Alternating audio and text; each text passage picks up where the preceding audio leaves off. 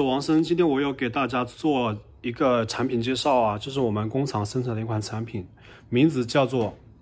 连体带拉链的一个啤酒套。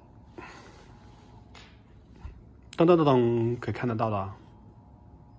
这边两个都是开口的，然后这边是一个带拉链的拉环，就是可以手拎着那种。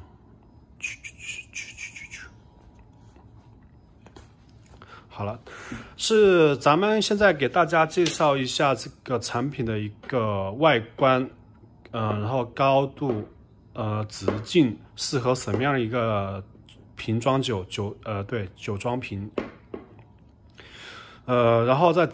简单介绍咱们的一个工艺，呃，好吧，就这样开始吧。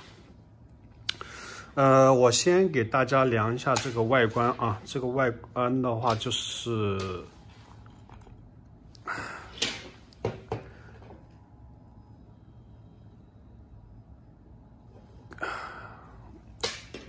装起来吧，稍等一下啊。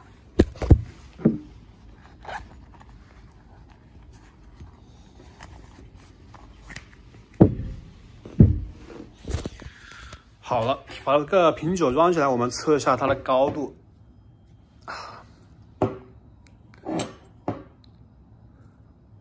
高度的话就是七十五毫米高，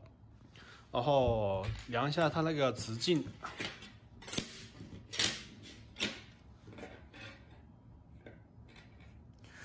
直径就是二十五毫米，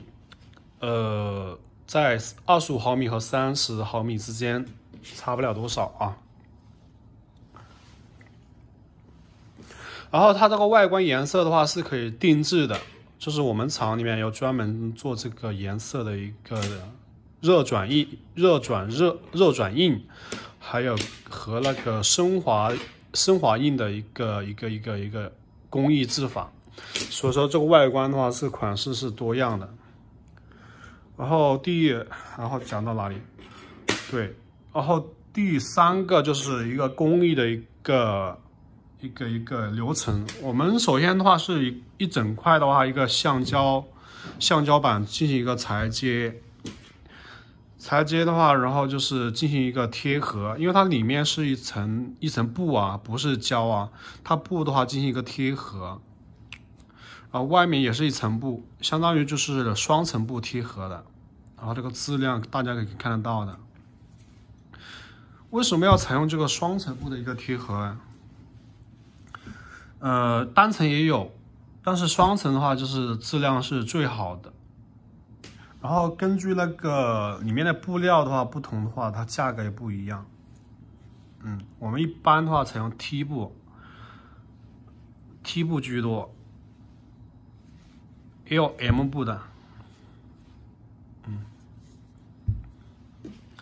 工艺的话，就是一个裁剪，一个贴合，然后一个，